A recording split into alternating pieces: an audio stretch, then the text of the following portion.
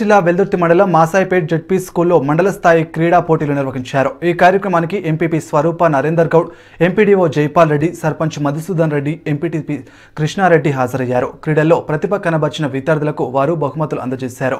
ముఖ్యంగా under seventeen kho kho kabaddi volleyball పోటీల్లో Veldurthi high చెందిన విద్యార్థులు బహుమతులను సొంతనం చేసుకున్నారు. అనంతరం ఎంపీపీ మాట్లాడుతూ విద్యార్థులు క్రీడల్లో రాణించి మండలానికి మంచి పేరు తేవాలన్నారు.